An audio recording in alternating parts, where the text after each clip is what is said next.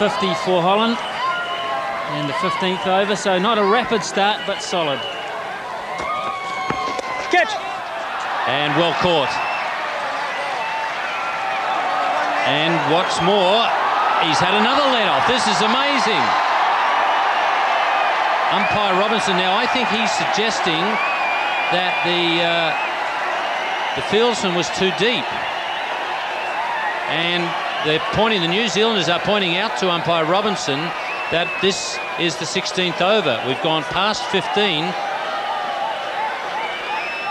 So I'm sure that's what the uh, the disagreement is about. Umpire Robinson checking with Khizer Hayat, and uh, he nods in agreement and says, "I'm sorry, Aponso, I can't save you any longer. You're on your bike." So uh, Holland have lost their second wicket. Chris Harris bowling his little leg cutters. Got that one to uh, hold up. Uh, Ponzo playing just a little too uh, early and spooned it to uh, short mid-wicket. That's a pretty good catch. Holland 52 for two. With Steven Lubbers uh, at the crease now. Performed extremely well with the ball. Flighted the ball nicely, picked up three wickets. And this is the downfall of uh, Flavian Aponso. Well caught by Nathan Astle.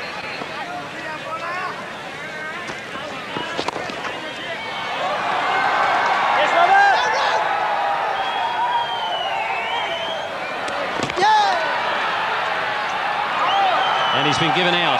Steven Lubbers there. A good piece of work by uh, Chris Harris. The throw was high. Throw from Kennedy originally. Harris had to go high and he dragged it down onto the stumps. Well, he called the run, a second run, Steve Lubbers, so he's only really got himself to blame. He did look to be labouring somewhat out. The throw from Kennedy was quite accurate, but it was too high.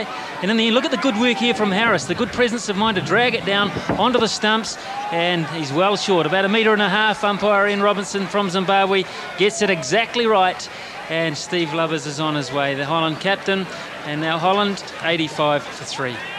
308 for victory. Yes, yes. Well, we accept a defeat, but uh, we try to, well, to make a good impression. To make a good impression.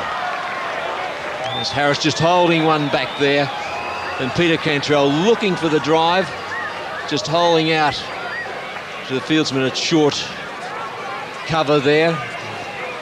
Very good field placings by Germon there. Astle, the fieldsman there, he's already taken one catch right off the meat of the bat, but just not quite to the pitch of the ball. And a very good field placing there. So Holland struggling now, losing the fourth wicket. Cantrell out for 45 off 86 deliveries. And very miserly. Oh, it's out LBW. Umpire Robinson there judging the batsman to be out LBW. I thought it might have been doing just a little bit too much in the air. But he's in a lot better position than us. So unfortunately, Rudy, the loss of another wicket.